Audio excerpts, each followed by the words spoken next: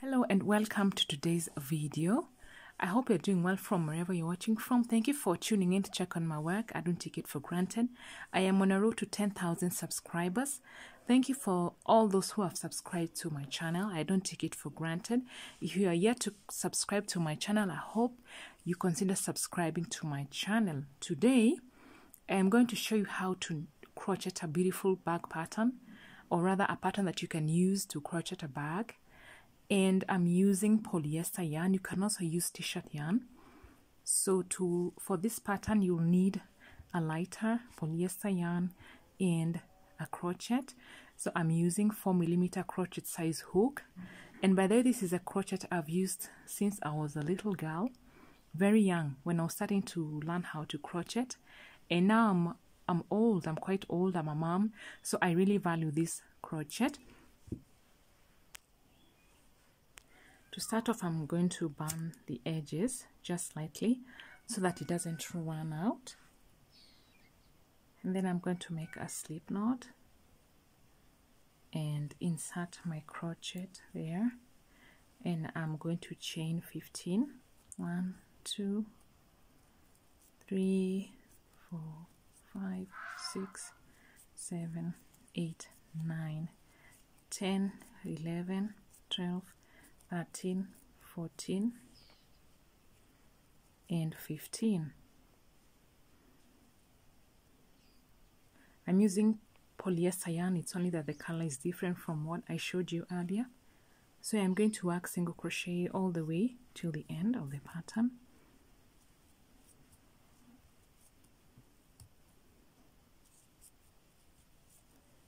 Work single crochet all the way so I have completed my single crochet for row 1 and I'm going to show you another way in which you can start off a pattern.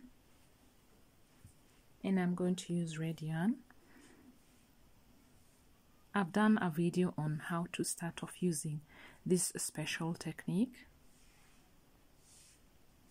So make a slip knot insert your crochet there chain one and then into this space here. Chain another stitch. Take them out. Increase the row by inserting in, this chain here.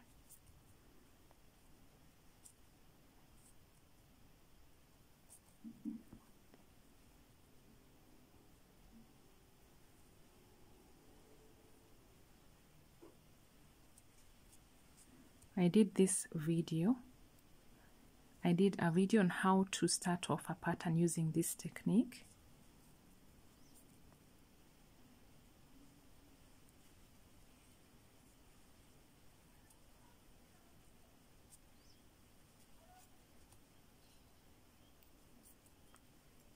So I'm going to increase the length of this row. So I have completed row 1 they look similar with the traditional way of chaining. So I am going to show you how to start off a bag pattern. So insert your crochet into the back loop of this row into this set of chains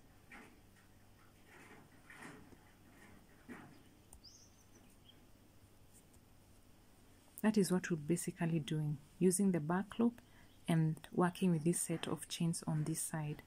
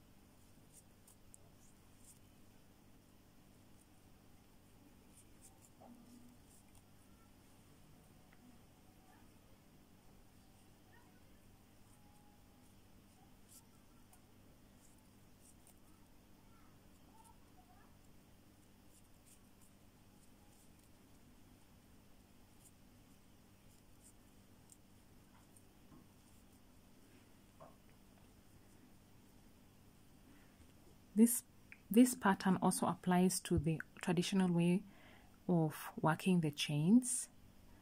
At the beginning that's what I mean.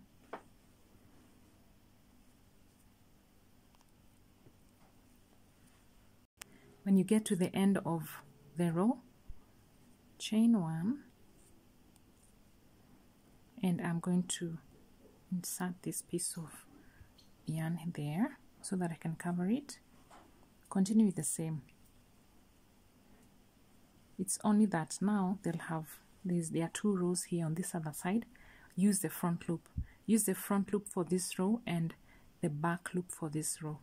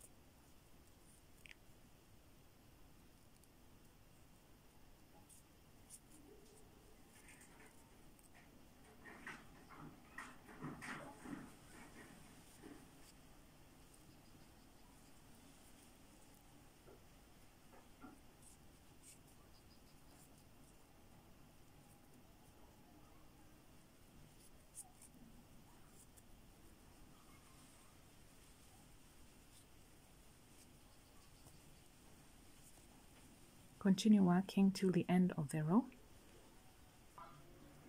When you get to the end of the row chain one and continue with the pattern until you achieve the desired length of your product or project